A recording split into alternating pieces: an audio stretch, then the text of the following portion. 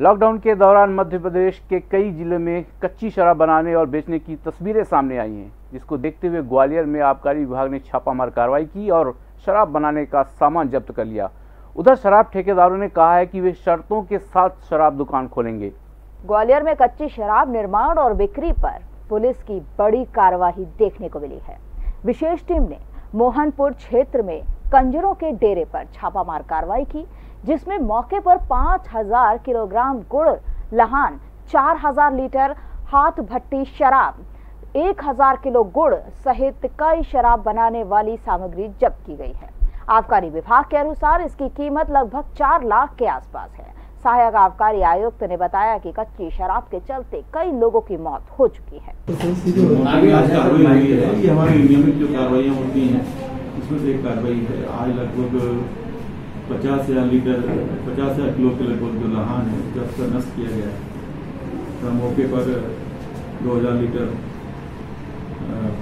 कच्ची शराब मिली है। उसको जब कर नष्ट किया गया है। और उसी तरह जो है वो जितने भी यंत्र, संयंत्र सारी चीज़ों को जब कर यहाँ पे लाया गया है। और कार्रवाई भी जारी है। सारा मामला विवेचना में लेके अंतिम कार्रवाई की जाएगी उधर जिला प्रशासन के आदेश के बावजूद ग्वालियर चंबल संभाग के शराब ठेकेदार दुकानें खोलने के लिए तैयार नहीं हैं। कलेक्टर का कहना है कि 1000 करोड़ के ठेके में अब सामान्य दिनों की तरह बिक्री नहीं हो सकेगी। ठेकेदार ने फ़िलहाल सरकार से लाइसेंस फ़ीस में कमी करने और पर्याप्त सुरक्षा देने की स्थिति में ही दुकानों को खोलने की बात कही है। मेरे को ग्वालियर संभाग में एक हज़ार करोड़ काम दिया है ग्वालियर भिंड मुरैना और सोपुर। चार डिस्ट्रिक्ट हमारे पास है। तो क्यों नहीं मतलब आज खोल पाया दुकान खोलने दुकान खोलने के पीछे कारण मैं उद्देश्य है कि नौकर कर्मचारी काम पे आने को राज़ी नहीं प्रथम। द्वितीय बात की प्रशासन के पास इतना फोर्स नहीं है कि लाइन लगवा सके। सोशल डिस्टेंस हो, हो, हो सके। कई राज्यों में शराब की दुकान खुली तो आप देख रहे हैं हज़ारों लोग उमड़ पड़े हैं। हमारे को बहुत डर है कि नब्बे परसेंट दारू जो बनती है, वो इंदौर और भोपाल बनती है। वहाँ से दारू आई, दारू दुकान होती, पर्याप्त स्टॉक है नहीं कि लोगों को सप्लाई पूरी दे सकें, दारू लेनी पड़ेगी।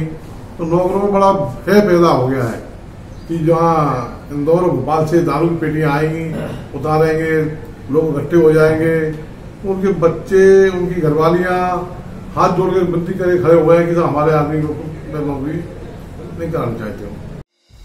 संगीत की स्वर लहरियों से सांस्कृतिक ताने बाने तक। चंबल के पीड़ों से नक्सलवादियों के गढ़ तक। झोपड़ी से महलों तक। ठेलों से मेलों तक। पगडंडियों से सड़कों तक। गाँव से शहरों तक। व्यापार से उद्योगों तक। राजनीति से कूटनीति तक। दखन न्यूज़। आपके हक।